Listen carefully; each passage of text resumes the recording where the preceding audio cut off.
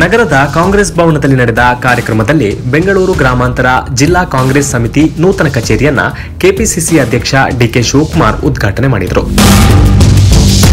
ಈ ಸಂದರ್ಭದಲ್ಲಿ ಕಾರ್ಯಕರ್ತರನ್ನ ಉದ್ದೇಶಿಸಿ ಮಾತನಾಡಿದ ಅವರು, ನೀವೆಲ್ಲ ಮುಂದೆ ಶಾಸಕರಾಗುವ ಉದ್ದೇಶ ಇಟ್ಟುಕೊಂಡು ಕೆಲಸ ಮಾಡಿ.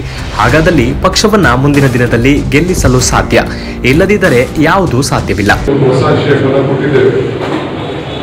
ಕಾಲದಲ್ಲಿ ಸ್ವಲ್ಪ ಹತ್ತಕ್ಕೆ ಬೆಳೆದಿದ್ದು ಈಗ ರಾಮಲಿಂಗಾರೆಡ್ಡಿ ಅವರಿಗೆ ಬೆಂಗಳೂರು ಸಿಟಿ ಎಲ್ಲ ಕಚೇರಿ ಜವಾಬ್ದಾರಿ ನಾವು ತೆಗೆದುಕೊಂಡಿದ್ದಾರೆ ಜಾರ್ಜ್ ಅವರಿಗೆ ಹೊರಗಡೆ ಜವಾಬ್ದಾರಿಯನ್ನು ಕೊಟ್ಟಿದ್ದೇವೆ ಸೊ ಇದಕ್ಕೆ ನೀವೆಲ್ಲ ಬ್ಲಾಕ್ ಹೆಸರು ಡಿಪ್ಯೂಟಿ ಕ್ಯಾಂಡಿಡೇಟ್ಸ್ ಎಲ್ಲ ಕೇಳಿ.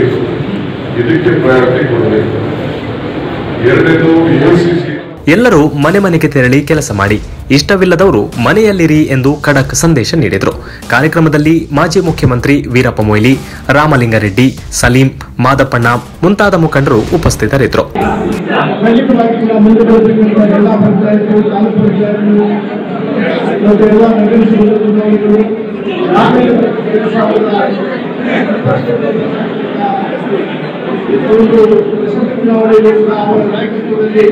ಈಗ ಅಸಂಘಟಿತ ಕಾರ್ಮಿಕರನ್ನ ನಾವು ಗುರುತಿಸಬೇಕು. ಪ್ರತಿ ತಾಲೂಕಲ್ಲೂ, ಪ್ರತಿ ಗ್ರಾಮದಲ್ಲೂ ಅವ್ರದ್ದು ಒಂದು ಪಟ್ಟಿ ಮಾಡಿ ಎಷ್ಟು ಜನ ಕೋವಿಡಿಂದ ತೀರೋಗಿದ್ದಾರೆ, ಅವ್ರಿಗೆಲ್ಲಾನು ನಾವು ಶಕ್ತಿ ತುಂಬುವಂಥದ್ದು.